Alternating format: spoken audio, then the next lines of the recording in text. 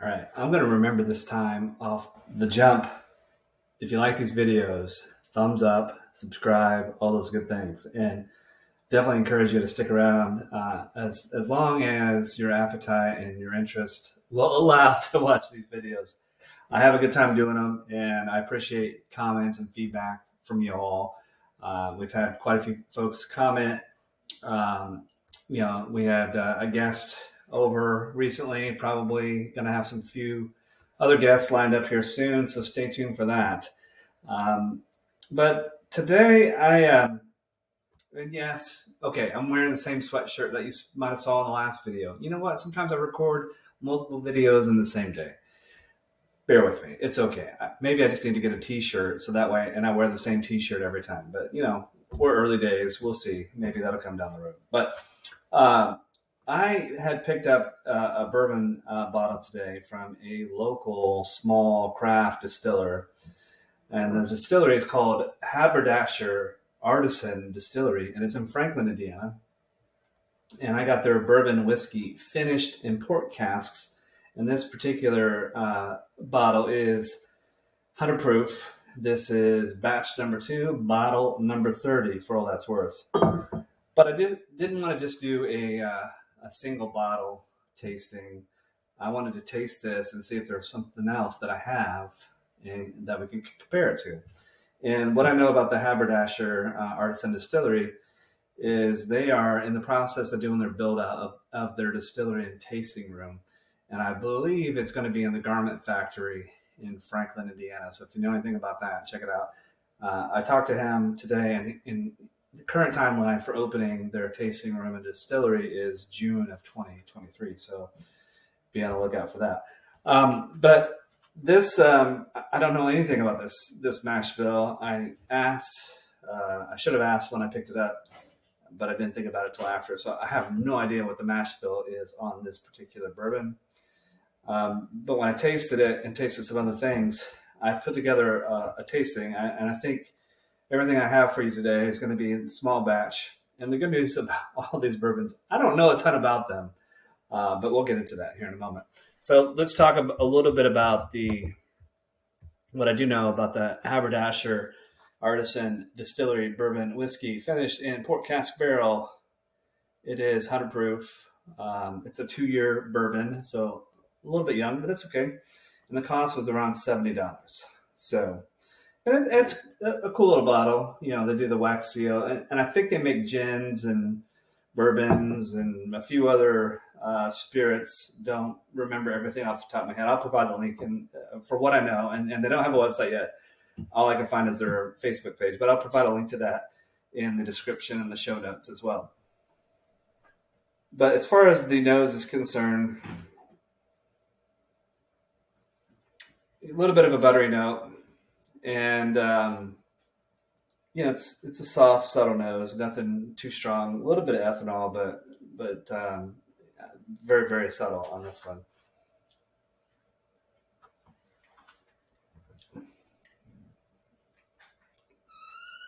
Hmm. It's interesting when I um, tasted it earlier. Now, you know, fair note here. I've at this point in the evening, I've tasted a few different things. So uh, hopefully my palate isn't too confused, but um, the note on that is uh, a little buttery, but I almost had like a little coffee note on the front end, which is a little bit weird. I don't ever get coffee on bourbon. You know what? I'm gonna rinse the palate just in case.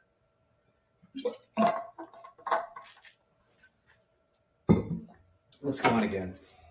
So again, the nose soft, subtle,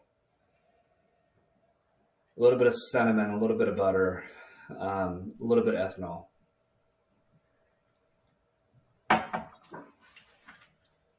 It's got really good legs. I don't know if you can see that on the camera, but they're they're clinging to the glass really well. Um, no disrespect, but it does taste like a young bourbon. Um, but it is a good bourbon. It has um, it feels hotter than than 100 proof if i'm being honest here so um, and i don't think it's barrel proof um, i don't have a lot of details on this one but it's a small batch and i think in this case you know i've talked a little bit in the past small batch is a very, very ambiguous term. It all is contingent on the size of the distiller. In this case, I think this small batch is small batch. I mean, it's probably maybe, I don't know, a couple dozen barrels. I'm not even sure how much they make at a time, but it's a good drink. He, this is to, as this distillery gets some age and, and they get, uh, you know, uh, uh, settled and they get their, their uh, facilities uh, established and that sort of thing, this has a ton of potential. I can see this being really, really good here in a few years. So hopefully, uh, Haberdasher is going to keep some of their bottles and age them for a little bit longer because I can see where this gets a little bit older. It's going to be really good, but it is a good drink, and I love supporting small local uh, distillers and wineries and breweries. And you know, this is in Franklin. It, it's you know my stomping grounds. It's kind of where I grew up, but it's a good drink uh, good drink.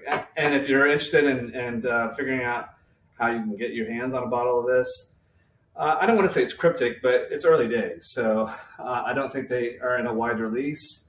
Um, if you message me, send me a comment, I'll send you the details on, on uh, how you can get in contact uh, with Haberdasher Artisan Distillery and you can get your own products. Again, I know they make a gin.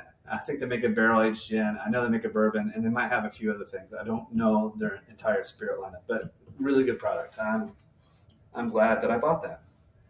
All right, so the next one we're going to move to today is the Indiana Longhunter Cask Strength Bourbon Whiskey. Now, this one is a little bit of a mystery to me. Uh, I don't know that much about it either. It says on the bottle that it's blended and bottled by Indiana Whiskey Company. But when I go to Indiana Whiskey Company's website, this is not on their website at all. It doesn't say distilled by Indiana Whiskey Company. So my suspicion is that it's it's a craft distillery again. It's just uh, blended and bottled at the Indiana Whiskey Company. I don't know. If you know anything about this, let me know. I picked this up at the Paragon Liquor Store. Yeah, I just gave you a secret. That's one of my honey holes the Paragon Liquor Store, Paragon, Indiana, has some. It has a fantastic collection of things that I don't see anywhere else, and so check it out. Uh, um, you know, a couple of the bottles today that I'm actually both these bottles that I'm, I'm sampling today came from the Paragon Liquor Store. Haven't ever seen them anywhere else. Uh, I'm not saying you can't find these anywhere else. I'm just saying I haven't seen them anywhere else. But um, the proof on this is 112, or I'm sorry, yeah, 112.4. Um, I don't know anything about the mash bill on the Haberdasher. I don't know anything about the mash bill on this. Uh, price on the um, the Indiana Longhunter is $54. Again, on price on the Haberdasher is $70. So let's dive in. see, I picked these products because when I tasted them uh, before the video, I felt like their their nose and their flavor profiles were comparable. And my impression of all these products is they're all small batch. And my impression of all these is that they're probably similar age. Uh, the Longhunter is a three three year. This is a two year, and the one we're going to get into here in a moment. I don't know the age on this one to be honest, but um, maybe you all know more about this. So if you have information about any of these products, send it to me. I'd love to know more. I keep a spreadsheet. Yeah, I get a little nerdy about it. But I keep a spreadsheet and, and, notes and that sort of thing so that I can kind of track things. Um, but let's dive into the Longhunter. I, get a corn note on the nose. Um, again, there's a slight ethanol on the nose it's not always the case. I know some of you who maybe aren't into bourbon and whiskeys, you may say, is it every bourbon? Does it, don't they all have an ethanol nose? No, they do not. Um, this one happens to have a little bit of that though. Um, nothing else. There's no other predominant. I mean, a little bit of corn, a little bit of ethanol, but beyond that, there's nothing else that's predominant on the nose.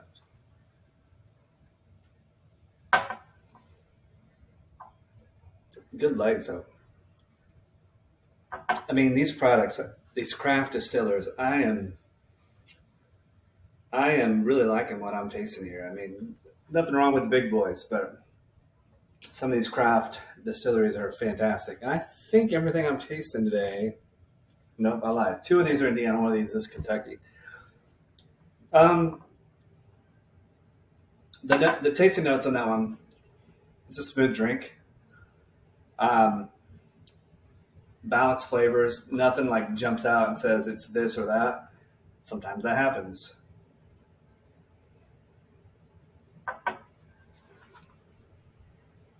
I to me, I mean, there's corn notes.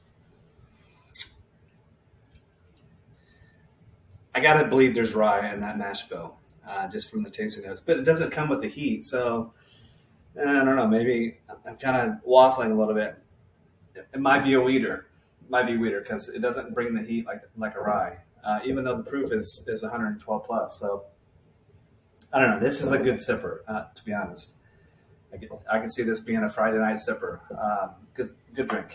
All right. So the next one. Uh, that I'm going to bring to you tonight is called Lady Victory Straight Bourbon Whiskey. And this one is distilled by Boundary Oak Distillery, and they, that is in uh, Radcliff, Kentucky, I think.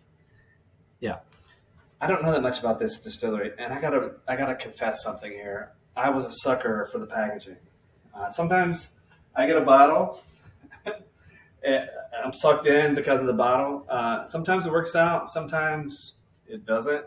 Um, but the packaging on this one is really cool. And what I like about their bourbons, um, I'll just read a little bit from their website. It just says serving our military. See the list of bases here, and if your base is not listed, contact us and ask us to add it. But they have a variety of products. They have one that's called 101st Airborne, and it's got an eagle head on, on the bottom 82nd Airborne, 3rd Infantry Division whiskey, Lady Victory, which is what we're going to sample here, and, and, so on and so forth. Uh, as far as the mash bill is concerned, I don't know. I really don't know. I know it's 100 proof. Uh, this one is a little bit up there on the price point, though. It's uh, $102, but the packaging is really cool. So I don't. We'll get in. See if I can pull the video up here so I can see what you're seeing a little bit. Um, nice little badge on it. Uh, it says 1917. On the back, it says Society of the First Infantry Division, member, members conflict, participation in World War One, World War Two, Vietnam, Desert Storm, Balkans, Iraq, Afghanistan. So, to me, it, it, it has a militaristic feel to it. Um, it seems like an old canteen from back in the day. Got this nice green canvas bag. Uh, again, it's got the the nice uh, embroidery on it. Society of the First Infantry Division. Packaging sold me on this one. Um, not gonna lie. The nose on this one, really no ethanol. Butter, corn. It's like buttered corn, I would say. Buttered corn with a little bit of like um, maybe peppercorn. I would go with that.